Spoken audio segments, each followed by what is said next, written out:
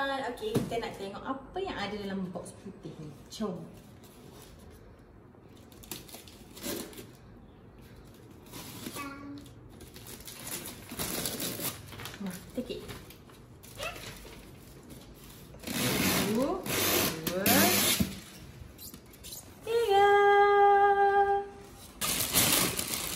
Kita order dekat Kita order king crab guys.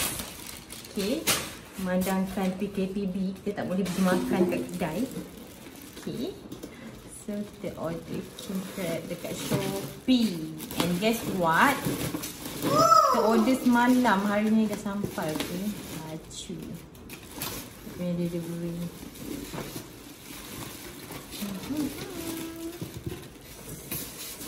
This is Alaskan king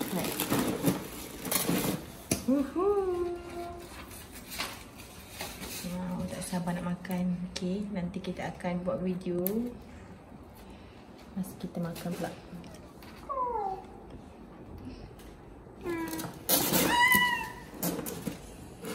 Hati ya, duri dia tak tajam. Hmm.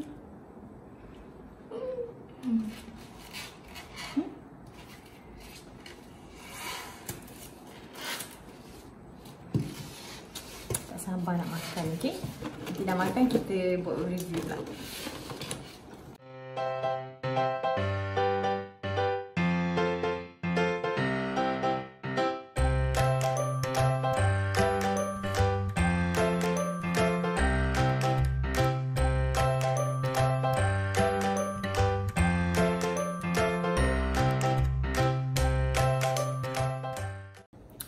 Okey, sekarang tibalah masanya untuk kita rasa king crab ni. Apa rasa dia?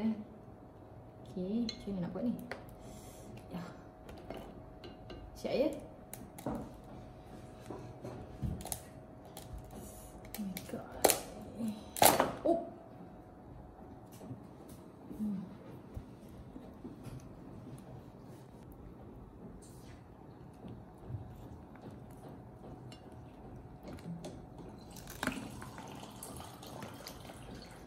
Susah tau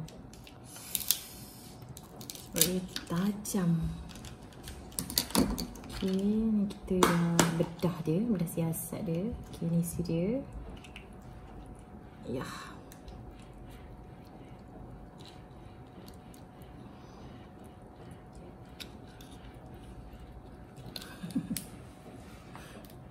Okay Ni isi dia Okay, now kita nak Kita ada buat dua sos Okay, which is sat, Satu Satu sos Thai Sos ala Thai, okay Dan satu lagi kita buat sos Salted egg Sekarang ni kita nak makan dengan sos Thai dulu, okay Hmm, okay.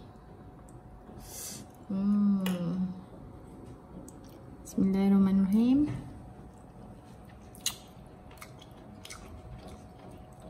Sedap. Sebab sos ni sedap. Siapa nak resepi sos ni? Nanti saya bagi.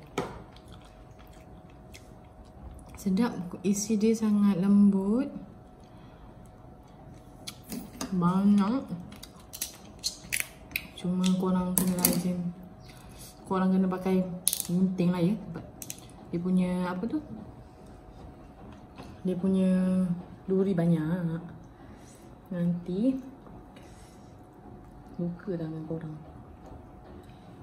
Hmm. Saya rasa king crab ni saya punya seorang lah kot kan. Orang lain kat dalam rumah ni nanti beli yang lain lah. Sebab sudah sangat. Now kita nak rasa dengan sos salted egg ni homemade tau. So siapa-siapa yang nak resipi dia sos ala Thai dengan salted egg tu komen kat bawah. Nanti kita bagi resipi, okay?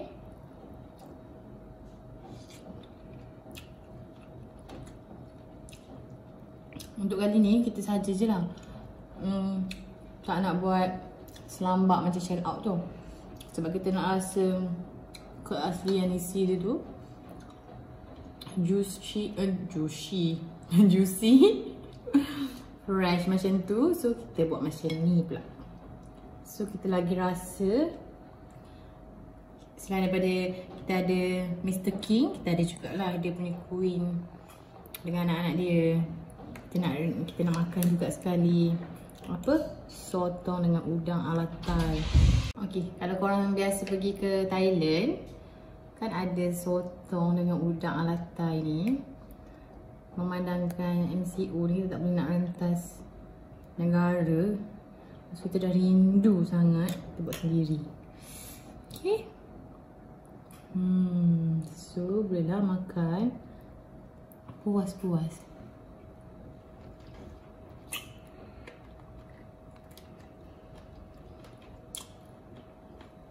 Sama, sama guys.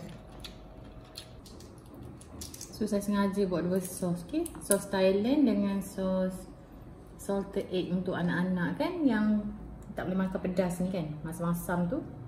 Boleh lah bagi dia makan sos salted egg tu bijak tak? Okay lah, saya pun nak sambung makan Selamat mencuba Yang selamat menyambung selera Jangan lupa tau komen kat bawah untuk dapatkan resepi sos-sos ni